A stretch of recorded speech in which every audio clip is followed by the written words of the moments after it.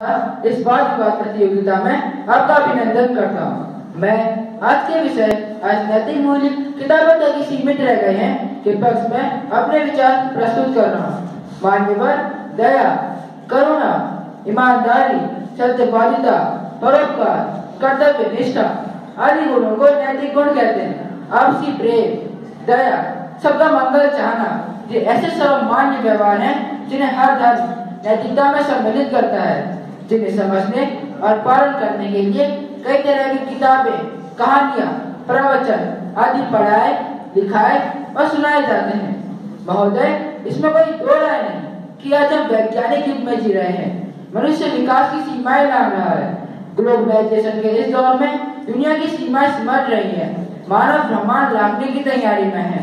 मैं अपने मित्रों से पूछना चाहता हूँ कि क्या किताबें हमें जीवन की आवश्यकता के अनुसार व्यवहार में आने वाली शिक्षा दे पाती है।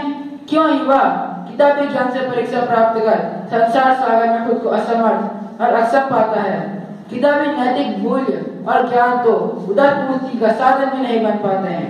महोदय, अठारह पुराणों का सार, जो सभी लोग बचपन से पढ़ते आए हैं। अष्टादश पुराणेशु व्यासस्य वचनम परोपकार पुण्य पापाय पर पीड़ना अर्थात पर पुण्य धन है। दूसरों को कष्ट देना पाप है। हम भली भांति जानते हैं कि परहित के कारण गांधी जी ने गोलियाँ खाई, सुखराज ने जहर पिया। महर्षि जी ने तो स्वेच्छा से हड्डियाँ तक दान कर दी। आदि आदि। अनगत उदाहरण पढ़ते आए हैं और पढ़ते रहेंगे। परंतु आज के भौतिक युग में व्यक्ति पूरी तरह स्वार्थ के वशीभूत हो चुका है। परमार्थ और परोपकार की भावना पूर्णतः लुप्त हो चुकी है। परोपकार करते समय व्यक्ति पर लाभ हानि की गणना करता है। जो आपस में दूरियाँ बढ़ा रहा है, तथा आपस समय में हम एक दूसरे की सहायता नहीं करते हैं। वर्तमान में नैतिकता की बातें तकिया मूसी माने जाने लगी है। ईमानदारी को मूर्खता, करुणा को कमज़ोरी, सर्वमंगल परोपकार व भाईचारे को फालतू बात व ढोक माने जाने लगा है। इसका एक मात्र कारण है मनुष्य का एक मात्र ध्येय प्रगति।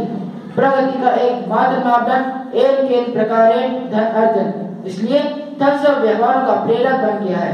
बाकी सब बातें किताबी मान्यवर, हमारी व्यवस्था कुछ ऐसी हो चुकी है कि सब कुछ धन बल से ही संभव है।